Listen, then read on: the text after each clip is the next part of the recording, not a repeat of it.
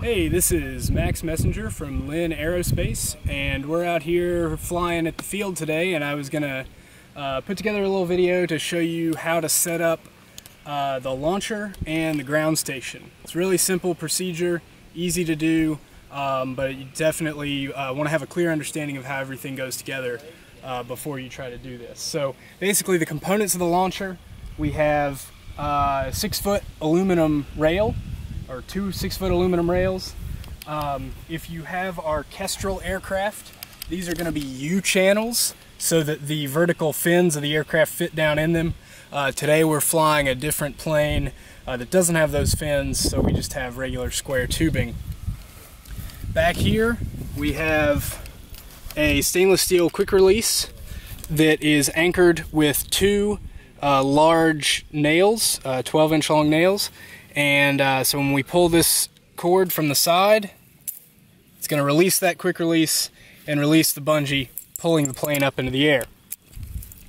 So then we come forward, we have this Y and this other ring. This is what's going to attach to the bottom of the plane and pull the plane when the quick release is pulled.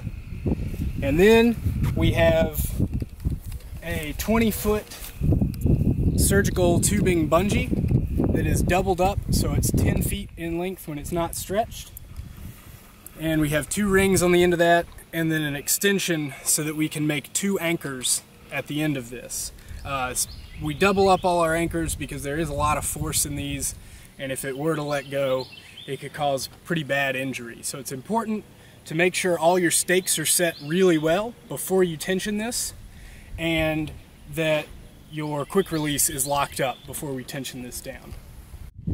So to tension up this bungee, what we need are two more of these 10 or 12 inch nails uh, and we need our scale, digital scale. So this is gonna let us know how far we need to pull the bungee back. So we just push our power button right here and it's gonna turn on and zero out. So then once it's zeroed, we will hook this through the cord loop and we're going to pull straight back in line with the launcher. And for this aircraft, uh, we want 22 kilograms of pull.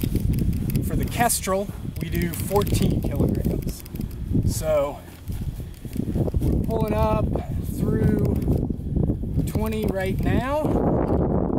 And there is 22.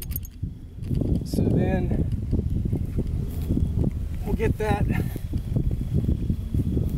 staked in good. Get that all the way in. So there's only a couple inches, maybe five centimeters sticking up out of the ground.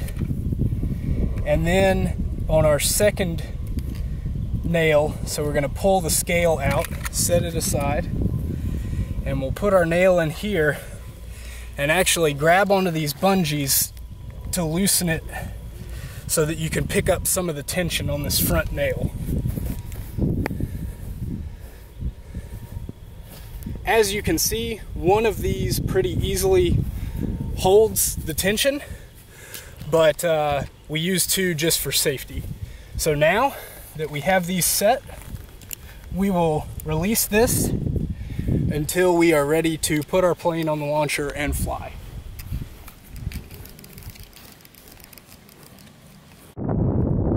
so now we're ready to fly. We've set on the launcher.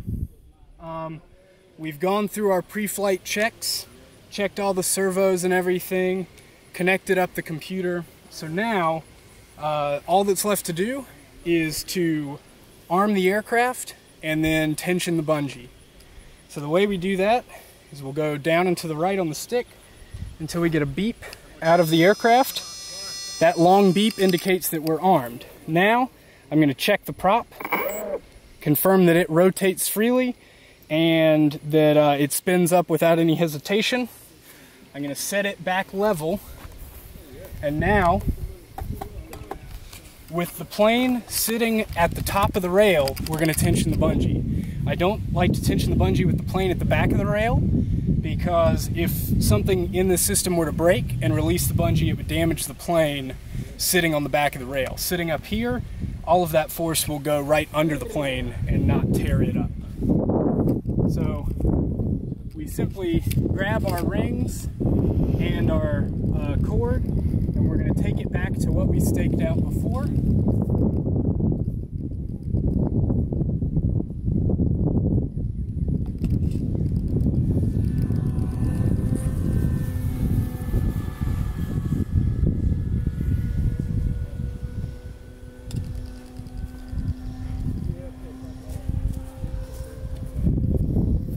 now, with that tension, we're going to slide the plane back to the rear of the launcher. We're going to take our ring that connects to the bottom of the plane and we're going to find that hook under here, hook that, and slide the plane back until everything in here is tight. Now with it set like this, when we pull this cord, it's going to release the quick release and the plane will fly away.